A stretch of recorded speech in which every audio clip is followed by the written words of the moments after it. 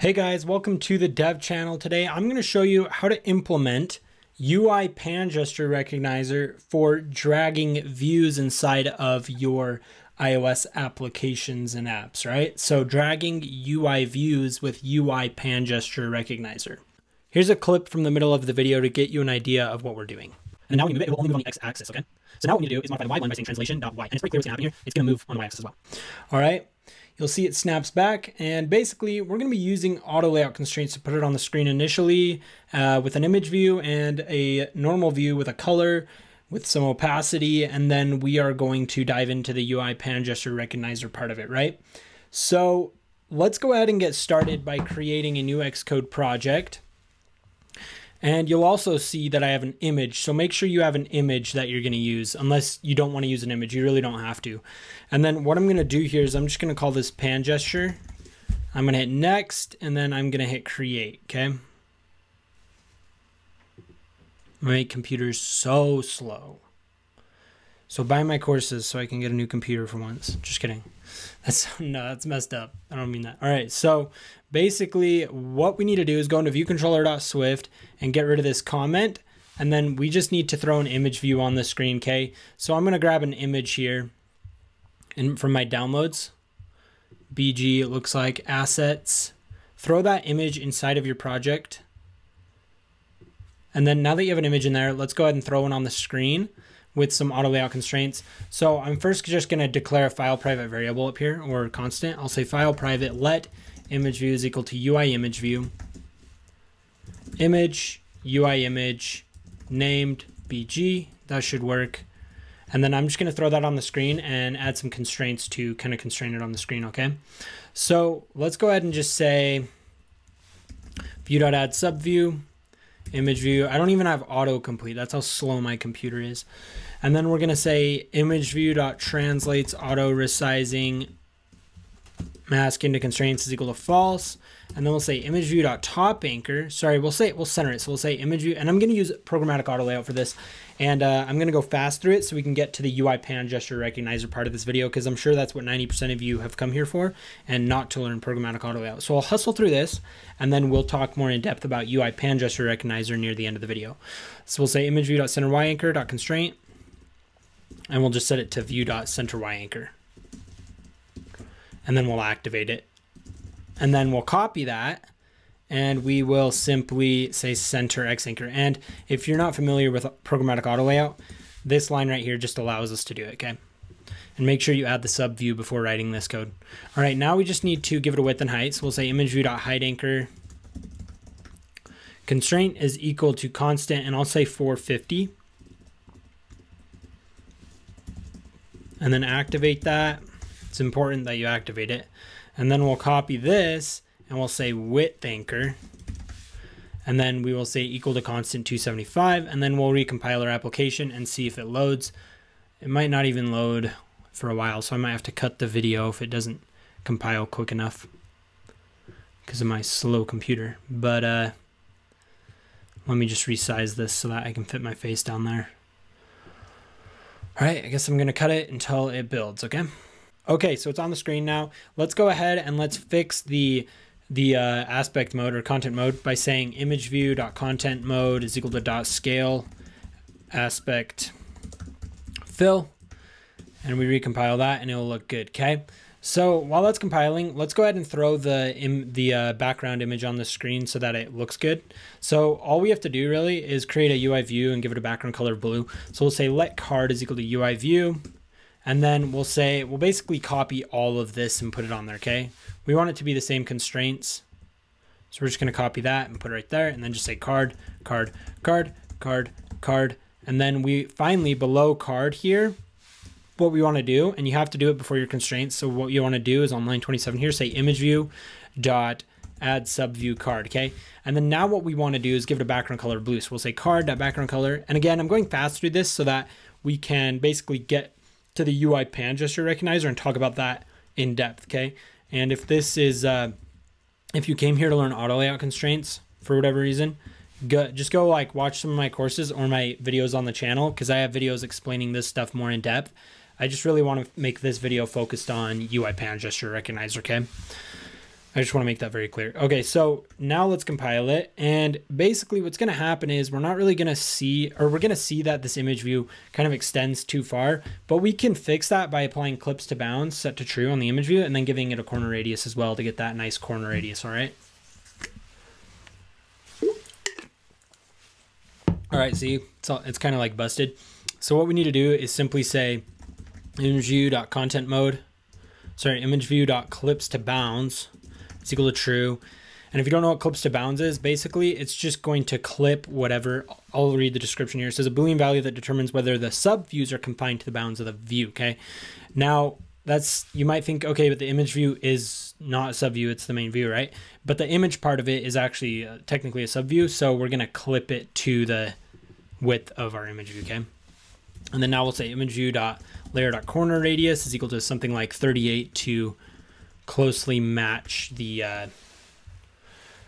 the iPhone X kind of curve. Dang, my back hurts. I have a herniated disc. Mm. I got two herniated discs. All right, probably from sitting too much. Uh, all right, so now we have that on the screen and it looks great, right? Now we just need to add the pan gesture recognizer, okay? So this is where I will start coding the pan gesture recognizer. Go ahead and copy that in if you skipped to this part. And then now what we'll do is we'll simply say image view and we'll say add gesture recognizer, UI pan gesture recognizer. And then we're going to say target is self and action is selector self dot handle pan gesture, okay? Now we have to provide this function. So let's go ahead and go below our view did load here. And let's say add objective C func and we'll say handle pan gesture. And then we're taking in a gesture variable that's going to be of type UI pan gesture recognizer because that's how targets work.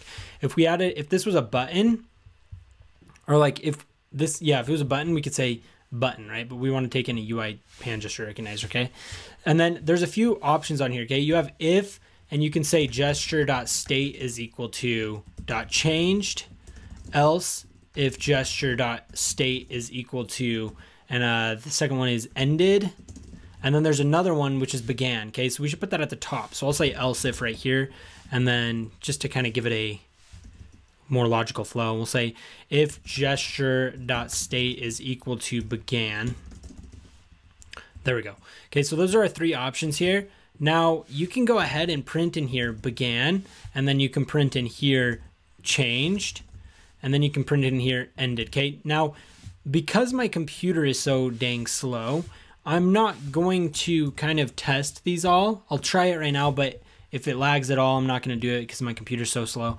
But basically, what's going to happen is when you move the view with your finger, initially it will say began and then every time you make the slightest movement with your finger it's going to say changed. So that's when it's moving around okay? And then ended is very clear it's just when it ends. Now this might not work initially right? Okay so it's not working that's what i expected. Because we need to set our card is user interaction enabled set to false. And that's part of the reason i actually included the blue card. You might have been wondering why i did that. And a big reason is because you're not going to be able to drag it if user interaction enabled is set to true. But the thing is, at the same time, it's not going to let you do it unless you set image view is user interaction enabled set to true, okay? So you'll see even now it shouldn't, yeah, it shouldn't let us do it. But then when we say image view dot is user interaction enabled is equal to true, it's going to work, okay? And then you're to see that when we move it, it begins. And then when we continue moving it, it'll just print changed a lot. And then we hit end, it will end a lot, okay? Now, this is great, but it's not really to move our view at all yet, okay? But it's super, super easy to do this, actually. Like, it's surprisingly easy, okay? You'll see now in the console that it's saying... Notice right when I tap it, it's to say began and then it says changed a lot and then I let go and it says ended, okay? So what you want to do or what we're going to do is we're going to mess with changed and ended because you'll see in the completed app I would move it and it would move around and then when I let go it would go back to the original state, okay? So I'll show you how to do both of those really easily. So we'll say let translation is equal to gesture dot translation And we're going to say what view? The translation of the pan gesture in the coordinate system of the specified view. So it's pretty obvious that what that means is we're maybe it's not obvious, but we're going to drag it wants to know what view we're dragging it in. And that's the main view, right? So we're just going to say view. All right. We could say self.view to make that more clear.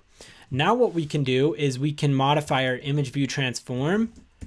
So we'll say image view.transform is equal to CG affine. And if you've never messed with these, go ahead and search my channel for a video on CG affine transform. And we're just going to choose scale X and Y. And what we can do is we can actually put translation.x and then for Y, I'll just say zero for now, okay? Just so you really understand what's going on here. We're gonna put translation.y in there in a second. And if you wanna skip to that, you can do that right now, but I'm just gonna show you with translation X to help you really understand what we're doing here when we're changed, okay? So remember that when we're dragging it, changed is continuously running, okay?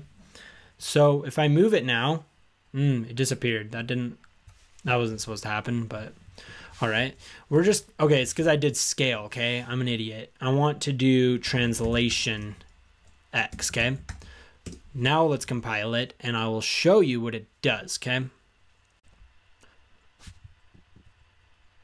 All right, so it's compiled. And then now when you move it, it'll only move on the X axis, okay? So now what we need to do is modify the y one by saying translation.y. And it's pretty clear what's going to happen here. It's going to move on the y-axis as well. Now you might have noticed when I was moving it there on the x-axis, it kind of just stopped wherever I moved it, which might be the functionality you're looking for. However, you can make it go back to the center pretty easily when it ends. Okay, and I'll show you how to do that. Let's try both now, and it moves wherever we move it really which is really kind of cool. You'll notice it starts kind of in the middle though whenever you move your finger off it, right? So you can try and figure that one out if you want, but I'm going to show you how to have it go back to the center. And that's really easy. Let's first just set a animation. So we'll say UI view dot spring. And then if that ever loads, we'll hit return and then we'll get that spring animation. I'm going to say with duration one, delay zero, spring with damping 0.2. So it's going to be pretty bouncy and initial spring velocity one. The options curve ease in or whatever you want to do, animations, and then let's get rid of the completion there. And then in here, we'll just say image view dot transform is equal to dot identity. Okay, so whenever you set dot identity on the transform object, it's based dot identity. Okay, whenever you set transform on, oh my gosh, Okay, it's because we need to mark image view as self.